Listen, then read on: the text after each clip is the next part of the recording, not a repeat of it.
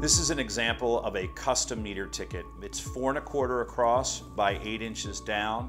Um, this is completely customizable by us. We can put your company logo, we can put your company information, any format you would like on here. It's a three-part ticket, so you see white, yellow, and then a hard cardstock on the back, so it's easier to put in the meter.